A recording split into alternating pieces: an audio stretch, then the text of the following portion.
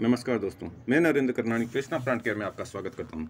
दोस्तों, आज मैं आपको बताऊँगा कैसे हम आसानी से डहलिया के बल्ब को सेव कर सकते हैं। दोस्तों, ये बिल्कुल ही आसान टेक्निक है और इसको आप घर पे आजमाओगे तो आपको 100 परसेंट रिज़ल्ट मिलेगा। और वीडियो से संबंधित कोई भी आपको जानकारी लाइव में चाहिए तो संडे लाइव नाइन पी में आता रहता हूँ, आप कोई भी सवाल पूछ सकते हो। दोस्तों, मेरे पास पचास साठ के करीब डहलिया के पौधे हैं। और इनके बल्ब में सेव करूँगा और हंड्रेड परसेंट रिज़ल्ट भी इसका मैं ले लूँगा। दोस्तों, ये बहुत ही आसानी से सेव हो जाते हैं, लेकिन इसका थोड़ी बहुत टेम्परेचर का ध्यान रखना पड़ता है, जो मैं आपको बताता रहूँगा। दोस्तों, ये मैंने क्यारी खोद रखी है, जो आप देख रहे हो। बिल्कुल इसमें बलुई मिट्टी है और इसके अंदर मैंने पहले से इसको अच्छे से खोद करके अच्छे से तैयार कर लिया है। और ये बल्ब दोस्तों, मैंने थोड़े तो लगा लिए हैं पहले ही, और बाकी मैं आपको सैंपल के रूप में बताऊँगा कि कैसे मैंने लगाए हैं। मिट्टी केवल बलुई मिट्टी है, जिसे आप रिवर सेंट कहते हैं। इसके अंदर कोई भी खाद की मात्रा नहीं है और पहले से कोई पाँच परसेंट होगी। पौधे को दोस्तों लेने से पहले, सबसे पहले दोस्तों इसकी कटाई छटाई कर दी जाती है। जैसे जो डाली लगी हुई है जो डंडी हम कहते हैं, उसको हटा देते हैं। कोई सूखी हुई डाली होती है, उसको भी काट देते हैं। बिल्कुल फ्रेश पौधा कर लेते हैं और बिल्कुल पास पास में रखते हुए इसको लगाते हैं।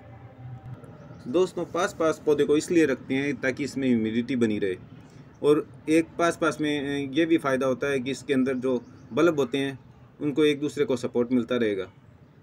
और दोस्तों, इस प्रकार बिल्कुल टच करते हुए इसको एक दूसरे पौधे को रखते रहते हैं। और ये दोस्तों बहुत ही आसानी से सेव हो जाते हैं। इसके अंदर स्प्राउटिंग पूरे साल भर होती रहेगी और फिर ऊपर से थोड़ा थोड़ा जलता रहेगा। और जहाँ पे मैं लगा रहा हूँ, उसके ऊपर ग्रीन नेट लगी हुई है। चारों तरफ़ से दोस्तों इस प्लॉट के बाउंड्री है। तो इसके अंदर बहुत ही अच्छा सिलन भरा मौसम रहता है। तो सेव हो जाती है। अगर हम बल्ब को निकाल के करते हैं तो अभी तो इसका टाइम भी नहीं आया है बल्ब को निकालने का, क्योंकि इसमें बल्ब अभी मिच्योर नहीं हुए हैं। और दोस्तों, आप देख ही रहे हो, इसके अंदर फूल भी आ रहे हैं।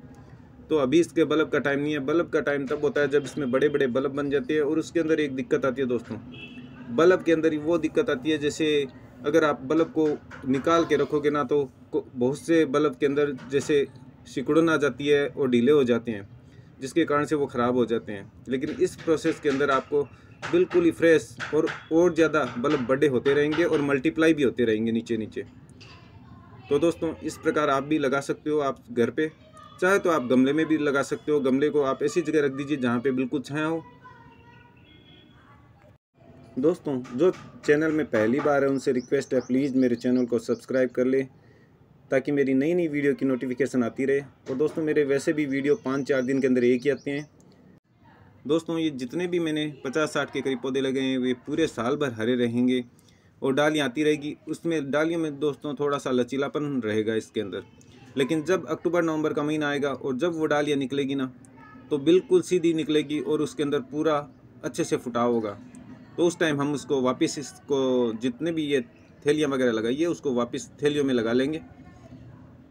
और इसके अंदर पचास के बल्ब के करीब साठ सत्तर बल्ब हो जाएँगे, जिससे मल्टीप्लाई होंगे, उसका फ़ायदा भी हमारे को मिलेगा।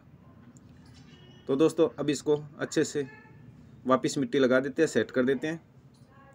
पानी के लिए दोस्तों, बहुत ही कम इसके अंदर पानी डालना पड़ता है, करीब एक बार पानी आप डाल सकते हो, दस पंद्रह दिनों में। इसको ज़्यादा पानी अब नहीं चाहिए होगा, क्योंकि अगर ज़्यादा पानी डालोगे तो बल्ब ख़राब होने के चांस रहेंगे। तो बिल्कुल नाम मात्र का जैसे जैसे पौधे को हरापन चाहिए ये दोस्तों इतनी सारी डंडियाँ इसकी हमने निकाल ली है, जो किसी दूसरे पौधे में स्टैंड करने के लिए काम आएगी।